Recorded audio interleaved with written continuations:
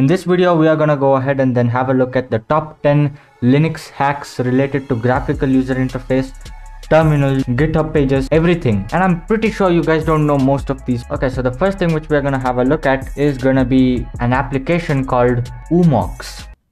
Now that's probably the worst application name which I've ever heard but in this case the use case of this application is Crisp. This application helps you create your own GTK theme and uh, in this video I probably won't be able to do this completely because it's gonna take a long time but yeah this is the idea it helps you create your own GTK theme completely. You know go to this and then use the color picker to choose whatever color I want. Scroll down have a look at whatever you want to change. Let's say spacing it also comes with you know predefined theme options styles which you could change if you want. So let's say i want a material theme. In that case i just choose the materia ui element which i could further change if i want to. With that said let's move on with the next application which is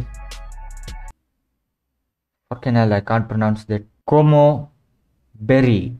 Como Rebi.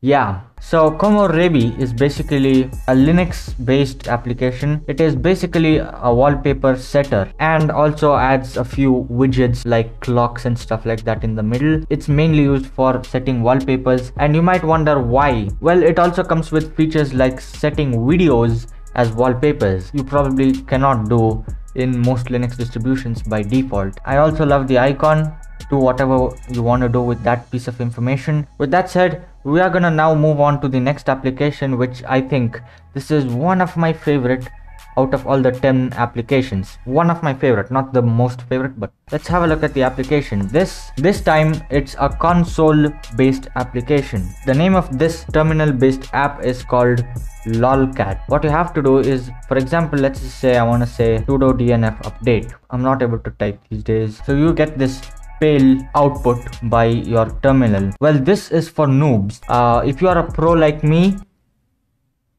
shut the fuck? What you do is that you go ahead and then say whatever command you have and you embed with lolcat. Now what this does is that it makes your output look amazing. And this is probably one of the best outputs i have ever seen. Uh, let's say you want to make something more interesting. Let's say ls how you could actually make it more interesting is by adding lolcat. Again this looks amazing. Now it, it also comes with some downsides like obviously as a person who prefers efficiency over looks i would not want to type this all the time. There are many other ways which i'm gonna talk about in my future videos maybe but for now we'll keep it that simple. Lolcat colorful displays could be automated using your bash script. The next app which we are gonna have a look at is again terminal based application and this time it's called rip grep. It's basically grep. You guys know this command right? Grep. It's basically grep but it has some extra functionalities to go ahead and then integrate with the repositories of github and gitlab or just git in general. Just did is that i pulled up this website right here which shows you how you could use rip grep. Basically you use rg instead of ripgrep and then you say the term the word you want to search for and then the file the file name. The same goes here. If you want more than one file you also have more flags and so on. With that said that is how ripgrep works. With that said let's move on to the next app which is rsync now rsync i bet most of you guys who are using gentoo linux or linux distributions which need a lot of scripting um, i bet most of you guys out there probably know it. But for those of you who don't know what rsync is it allows you to sync between multiple folders at the same time with the same data between the two folders. In that case it actually makes it very easy to maintain uh, folders in a more efficient and a stable way. So let me show an example of how i work with uh, rsync to make it easy for my life. Okay so as you can see there are two config files right here. The first one is the normal config file which is going to be referred by the computer to you know configure the major parts of applications and stuff like that the second one is the config git file which I posted on GitHub, uh, sorry, GitLab, uh, commit to GitLab because it has a lot of configurations related to my previous video, which I and many people use. It has like configurations of uh, Hyprland, window managers, and all stuff, all sorts of stuff which is useful so what do i do right now is that i just don't commit this file completely to github sorry gitlab because it makes no sense. It has stuff like dconf it has bitwarden cli uh, it has this abrt which i don't know what the full form is. It has min browsers configuration. Most of my subscribers don't need it. So what i do is that I go ahead and then rsync this to this which means it allows me to go ahead and then uh, sync just the specific parts of the folders to this folder which makes it much much easier me to go ahead and then make the gitlab folder more efficient. It does not have sorts of stuff which which are completely useless for most people. Now let's go ahead and then have a look at how rsync actually works. So here's how it works okay? Let's say i'm just gonna go to uh, a cd downloads. So go to the folder which is necessary and go ahead and then make sure that your file exists. In my case i'm gonna create a sample file for the sake of this video okay? I need this sample file to be synced between my downloads folder and let's say documents folder. So what i'm gonna do is that i'm just gonna say rsync and then hyphen avh and then the source of whatever you have in my case it is this folder sample.txt and then the destination wherever i want this to be synced. In my case it is dot dot and then uh, into my documents folder. Yeah there you go. That's basically it. So that's how it works. That's how rsync basically works. Now let me just go ahead and then delete that because i don't want that. Now the next one which i'm gonna show you guys is an actual linux hack which i think most of you guys will find it useful. And i'm not gonna lie this was very very life changing for me and uh, i'm sure it's gonna change your life as well. So let's say you just wanted to edit a folder which is in your root directory okay? I want to edit the http conf for example. So i'm just gonna say and yes i am inside uh, yes i just did some stuff and i want to write and quit. What i did forget is that i forgot to open this file in sudo as in in root. So what i would do right now is that i would quit it. Now i have two options to do. The first one is go ahead and say up and then say sudo right here and then say enter and then type your password and get in. That's the first one. The second one is just say sudo and exclamation exclamation mark. Sudo with two exclamation mark and hit enter.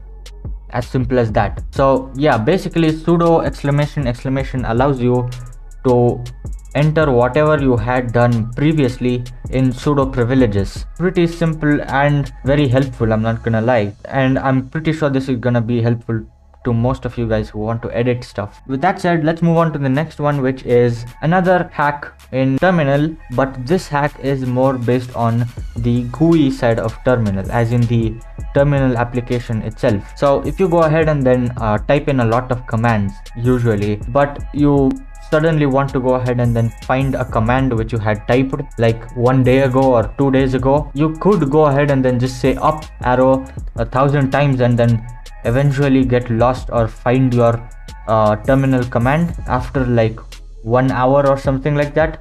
Or if you are an expert like me the piece of shit. what you would do is that you would say control r. Yes control r. What this does is that it allows you to go ahead and then search the commands you had typed in your history in your previous. So let's say i want to find the command which i had typed thousand years ago about lolcat i would just say lolcat and there you go. Command which i wanted to find is finally here. So what i'm gonna do is just say enter and there you go. My command is just run. Say control r search it and hit enter.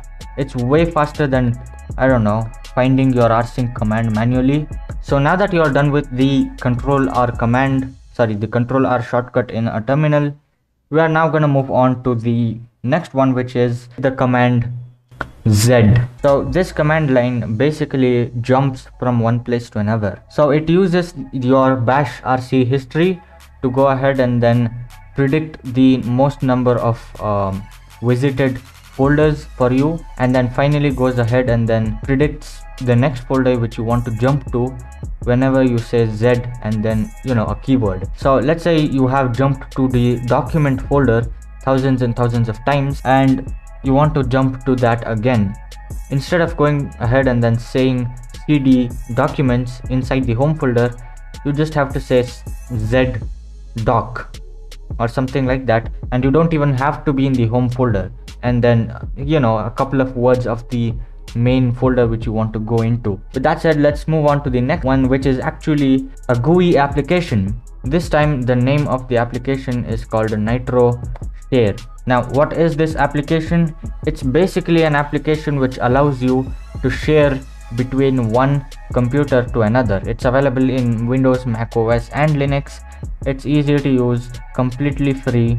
It also allows you to go ahead and then install through the package manager because it's there in the package manager. And yeah if you want to share files between multiple computers you could go ahead and then use nitro share it's also open source by the way. So i'm gonna go ahead and then show how you could go ahead and then share between one computer to another computer in my future videos because obviously it's a bit longer video than usual let's go ahead and then move on to the next application. This time it's called blanket.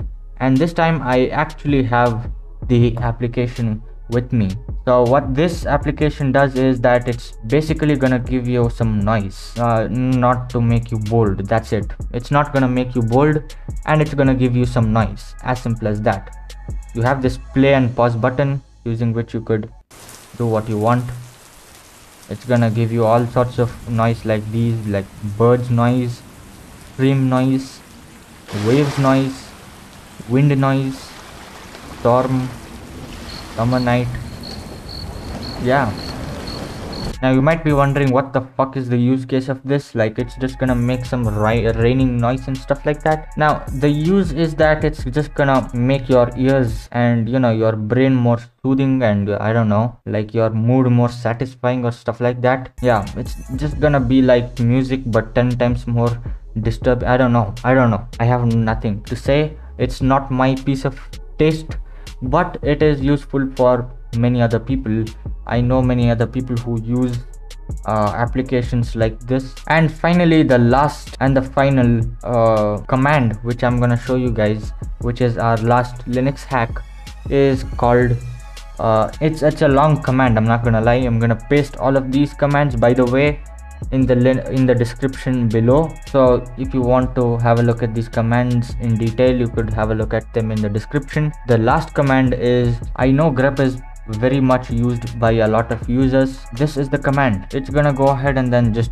basically search for what you want. So let's say i want to search for like documents. And uh, yeah all of these are literally like the ones where documents term was found but that's basically it. Uh, grep does that. Okay grep is a very useful command for most users but grep along with a long term of stuff is again more useful than what you think. In this case this command is gonna search for a term which exists in other places.